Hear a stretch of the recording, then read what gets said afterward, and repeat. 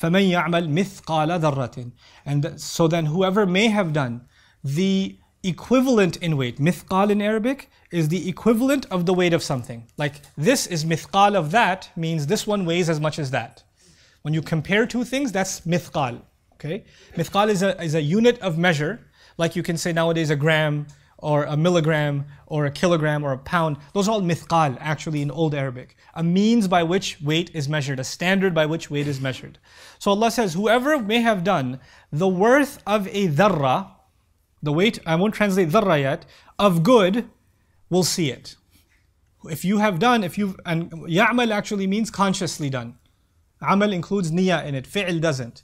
Whoever consciously did an act of good and meant to do something good, even if it's the worth of what Allah calls a dharra. Now what is dharra? A dhar ma yura fi shu'a'i shams min al-haba. Dhar is if you're sitting by a window on a sunny day and you see little fibers of dust flying around. One of those is called a dhar. And what does that weigh? Allah says the equivalent of the weight of that of a good deed a human being will see.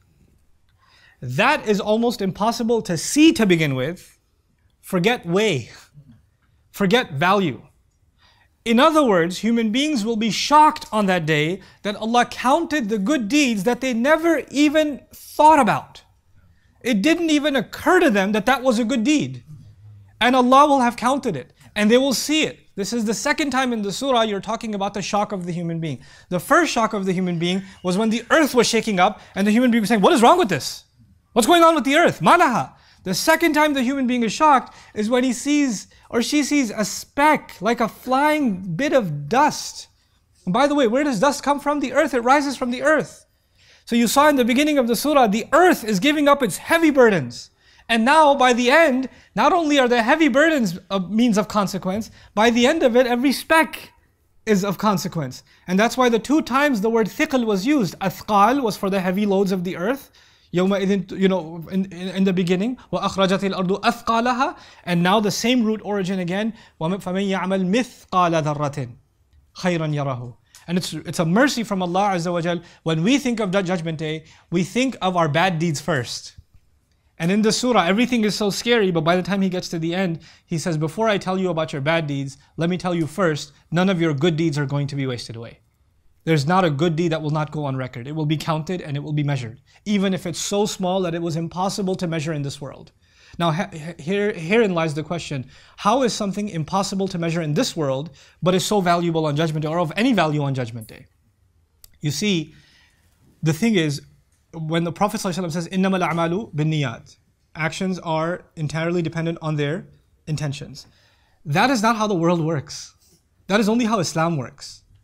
That's not how the real world, or this, this worldly life, that's not how it works. If somebody does a great job, or does everything they needed to market the product, to sell the product, and they made no sales. They made no sales. Are they gonna keep their job or gonna lose their job? They're gonna lose their job. You didn't get the results. And they go to their boss and say, you know, إِنَّمَا الْأَعْمَالُ بِالنِّيَّاتِ Actions are based, I mean, I intended to make the sales. And وَإِنَّمَا لِكُلِّ امْرِئٍ مَّا نَوَى Every person should get rewarded according to their intention. My intention was to make more sales than have ever been made in history. Yes, I did make a single sale, but since I should be rewarded based on my intentions, I need a bonus. That is not how the world works. The world works on results. What impact did you have? How much sales did you make? How many audience did you have? How many people attended the program? How much money did you raise? How many people did you feed? Like a charitable organization, its success is going to be some bar graphs. What you can measure, what you can see. But somebody living in some apartment somewhere and he's helping their neighbor out or whatever, that's not on a chart anywhere. You understand? The same way, there's a fundraiser and they say who's going to give 50,000 and nobody raises their hand because it's awkward but some guy writes a check for 50,000 and by the end of it somebody uh, when the fundraiser is like already over people are dying they're falling off in their chairs and the guy's not letting go and he says okay who's going to give $5 right? And th- when somebody says $5 the takbir is much lower.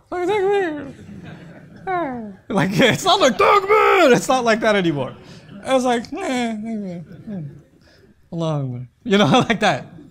But what do you know that there's someone in the audience who only had $5.50 and they gave $5? You don't know that. In this world, it only added to the balance by $5. But in the next world, that $5 may be worth way more than anybody in this world could ever have imagined. The scales of that day are different because they are based on the level of sacrifice you made, the level of difficulty you went through, the level of difficulty I had to go through. So that day, it may be that the 50,000 was worth nothing or worth less than the 50 cents on the other side or the quarter on the other side. It may be that case. So this is mithqala dharratin. What you thought was nothing. Nobody else thought it was significant. Your contribution, who would even know? Who would even care? Today, for example, we think about the like think of our, uh, the scholars that have passed this deen along to us, right? And those scholars that passed this deen along, many of them, we don't know much about their mothers. We don't know much about their fathers. We don't know much about their influences. And the, the love that their mother showed them, who we may not even know, may be the reason they became who they are. But nobody give credit to the mom. Nobody knows much details about the mom unless he talked about his mom or wrote something about her. We don't know.